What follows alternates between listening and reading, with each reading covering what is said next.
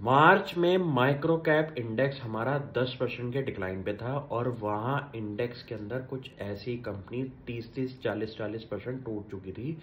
दो हफ़्ते, तीन हफ़्ते के टाइम पीरियड में। उसी थ्योरी पे मैंने कंपनी आइडेंटिफाई करी थी, TCI express.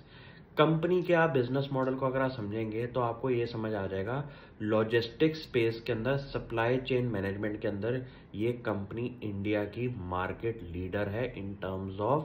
margin in business अगर आपको ये समझ में आ जाए कि मेरे को इंडिया के ट्रांसपोर्ट लॉजिस्टिक बिज़नेस में इन्वेस्टमेंट करनी है और उसके इस सेक्टर के अंदर टॉप की कंपनी पकड़नी है जो कि मार्जिन के अंदर सबसे नंबर वन हो तो आपकी नज़र में ये कंपनी ज़रूर आएगी टीसीआई एक्सप्रेस कंपनी के मार्जिन प्रोफ़ाइल आप चेक करें और लिस्टेड स्पेस के अंदर बाकी कंपेरेबल कंपनीज़ को चेक करेंगे तो आप हैरान हो जाएँगे कि कंपनी का बिज़नेस मॉडल कितना बढ़िया है। दूसरी बात कंपनी ने जो पिछले पाँच साल के अंदर अपने बिज़नेस के अंदर इन्वेस्टमेंट्स करी हैं उसके ऊपर कुछ ब्राउनी पॉइंट्स आपको बताता हूँ। कंपनी ने अपनी एड्रेसेबल लोकेशंस 32,000 से 60,000 लोकेशंस करी हैं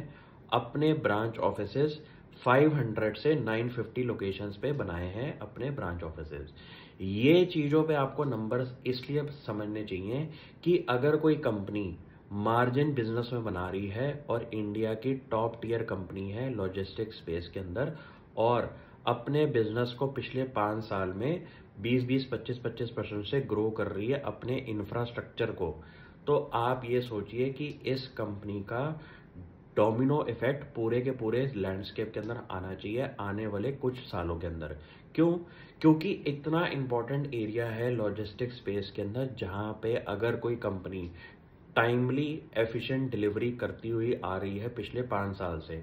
तो इनका आने वाले फ्यूचर के अंदर भी बिज़नेस स्कोप जो है वो बढ़ने वाला है। क्योंकि ये जो काम है ना, ये ट्रांसपोर्ट का एक ही बिज़नेस है जहाँ पे आपको टाइमली डिलीवरी चाहिए एफिशिएंट मैनर के अंदर आपका कॉस्ट ऑफ़ डूइंग बिज़नेस होना चाहिए। और तीसरी चीज़ ब्रांड गुडविल ब्रांड गुडविल आपकी कुछ साल के टाइम पीरियड में जब बन जाती है तो आप मार्केट के अंदर लीडरशिप पोजीशन पे अपना प्राइस चार्ज करते हैं, क्योंकि आप एक चीज़ कस्टमर के सामने रखते हैं, वो है हमारा एफिशिएंट बिज़नेस मॉडल यहाँ पे टीसीआई एक्सप्रेस ने बहुत एफिशिएंटली अपने बिज़नेस को ट्रांसफॉर्म किया है, और ऐसे सेल जब लगती है ना, मार्च के अंदर तो आपके पास उस टाइम ऐसी वॉच लिस्ट होनी चाहिए जहाँ पे आप कुछ सालों से, कुछ महीनों से एक कंपनी को ट्रैक कर रहे हैं और आपको उस टाइम वो एक बड़े अमेजिंग लेवल पे मिल रही हो।